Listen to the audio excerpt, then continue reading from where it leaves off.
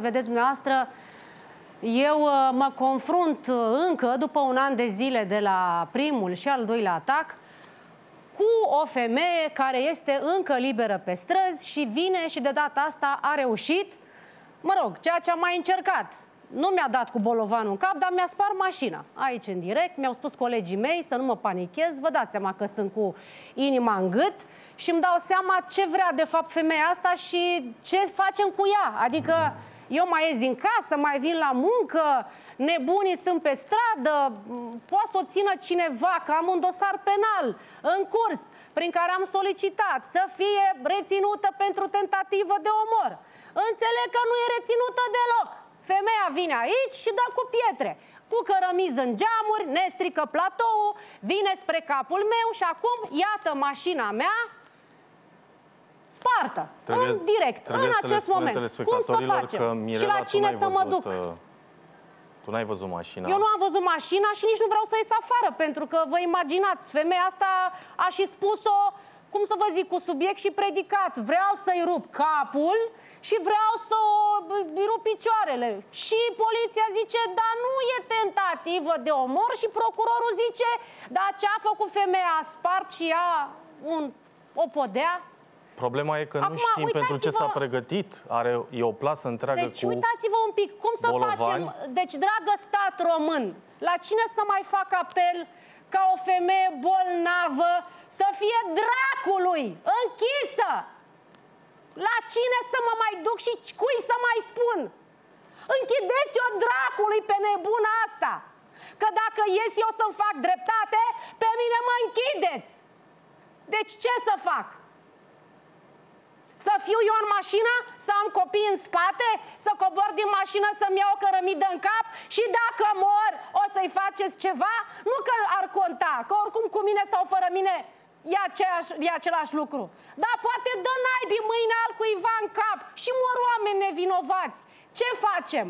Și știți că săptămâna trecută m-a sunat un alt polițist din Iași ca să-mi spună că am mai primit o amenințare de la o altă nebună și m-a rugat dacă vreau să fac plângere penală. Și știți ce am făcut? Am zis, las-o naibii de nebună că nu-mi pun mintea cu nebunii. Păi ei își pun mintea cu noi. Și eu ce fac? Hai, las-o naibii de mașină, că sper să am asigurare, că e în leasing. Las-o dracului de mașină. Dar ce fac? Am și eu o viață pe pământul ăsta, cât o mai avea și parcă n-aș vrea să mor de pietroiul unei nebune care umblă în curul gol în direct să mă iertați, că doar nu o să mai vreți să fiu și doamnă, și care nu primește nimic, domnule. Ea este liberă pe străzi, cum vrea ea, face ce vrea ea și în principiu dă în cap cui vrea. Uitați, o țin colegii mei și au chemat poliția. Am mai văzut filmul ăsta ieftin. Mă credeți că mi se face greață? Am mai văzut filmul ăsta. Am mai fost odată, am mai dat, data trecută nu m-a nimerit, acum mi-a spart mașina. Chiar acum polițiștii Bun, intervin. a venit poliția, mie, mie mi-e scârbă, vă rog să mă iertați, stat român. Mie mi-este scârbă. Pentru că o duceți din nou, știu unde o duceți, la secția 4, iar mă chemați, iar fac plângeri, iar scriu de mă doare mâna, iarăși o dați, o duceți, o plimbați o săptămână pe la nu știu unde, iar vine, iar dă cu pietroiul. Și poate la un moment dat, că nebunul de aia e nebun, o să mă și omoare. Așa, și mare, mare pierdere pentru țara asta, pentru statul ăsta. Mai moare un om, ce? Nu mor atâția pe șosele, mai moare și Vaida, e extraordinar. Deci, de fapt, că asta, asta înțeleg eu. Deci a fost tot regizat sau uh, știți că noi suntem cu regiile. Noi cu ne, cu, când vorbim de nebuni nu ne crede nimeni. E cu regie. Asta e tot regie? Aia e mașina cu care eu îmi duc copiii la școală, la grădiniță, cu care vin la serviciu, mașină pentru care plătesc impozite, pentru care plătesc benzină 9 lei. Aia este mașina luată în leasing, pe care o plătesc din munca mea cinstită și cu care îmi duc copiii la școlile din România. Eu ce să fac acum? Să ies? Unde să mă duc? Mi-e și frică să mai ies. M-am și săturat să plâng, m-am și săturat să înjur statul ăsta de nimic. Pentru că așa înțelege el să mă protejeze pe mine. Domnule avocat moldovan, ce să vă zic, mi-era și dor să vă mai aud. Ce mai faceți, Să domnule? rămână, să rămână. Îmi pare rău să aud uh, prin ce treceți chiar.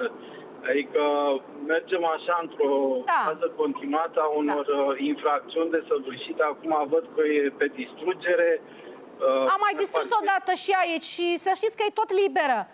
Adică ea nu vrea să distrugă, ea vrea să mă distrugă, dar văd că nimeni nu ia în calcul treaba asta, domnule avocat. Chiar, chiar voiam să uh, Până la acest moment, parchetul de pe lângă Tribunalul București nu va trimis nicio comunicare că a soluționat acest dosar de tentativă de omor. Nu mi-a trimis, domnule avocat, În nicio mod normal- comunicare. Nu m-a mai sunat în mod nimeni de anul normal trecut de trebuia- când am fost împreună la secția 4.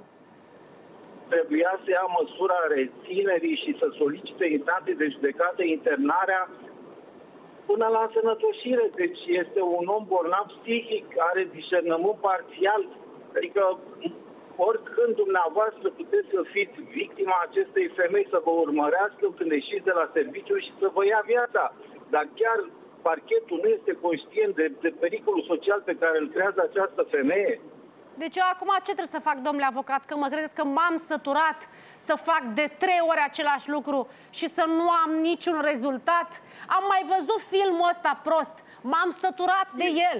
Deja vedeți că nu mai sunt speriată. Sunt revoltată și sunt scârbită. Da. Iar merg cu subsemnatul pe la secția 4. Iar mă duc să fac așa și iar o să zic că da, cercetăm, o duce o săptămână la Obregea și după aia iară vine și mai dă o dată. Și așa, și Păi, cât o da. ținem așa? Adică unul dintre noi la un moment dat trebuie să cedeze. Ea nu cedează. O să cedez eu sau cum? Că nu înțeleg. Ce e de făcut într-un stat democratic? Într-un stat în care legea ar trebui să-și facă treaba, nu?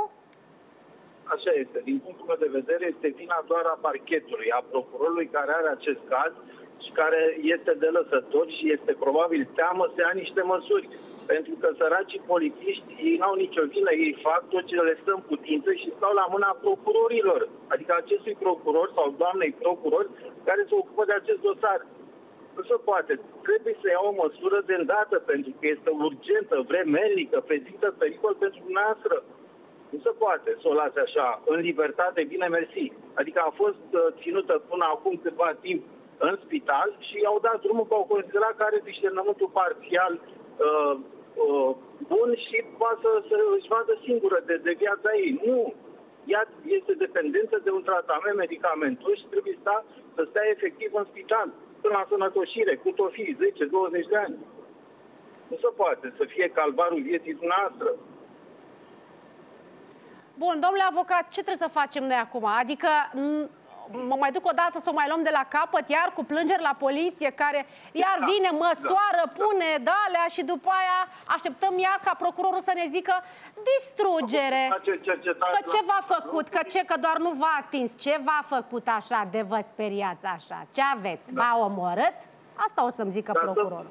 să pună doamna procuror în uh, locul dumneavoastră, să treacă prin momentele în care ați trecut dumneavoastră și apoi să, să vadă cum, uh, cum rezistă acestei situații. Da, am- Domnule Moldovan, dar nu este clară intenția acestei femei? Mai ales când vedem, Dar uitați, este a mai venit mult decât- cu o plasă dar întreagă de bolovani. este infracțiune- Din nou, Este infracțiune continuată.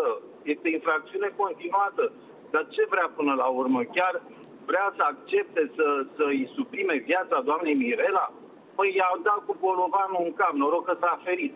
Au, a venit a doua oară, a distrus uh, uh, geamurile și ușile de... da, pentru că ușa respectivă nu mai era deschisă și de data asta la Acum fel, ce să ușa a facem? fost să închisă. băgăm mașina în Mai sediu? duce Ce să mașina. facem?